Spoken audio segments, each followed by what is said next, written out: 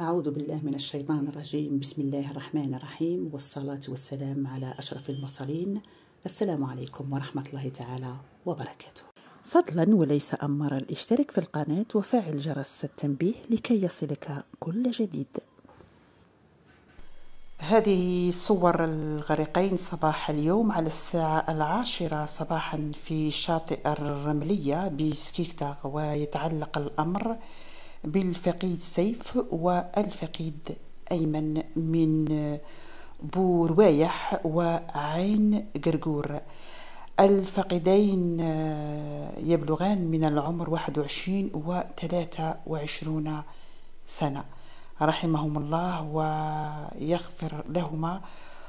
وإن لله وإن إليه راجعون. اللهم ألهم أهلهم وذويهم جميل الصبر والسلوان.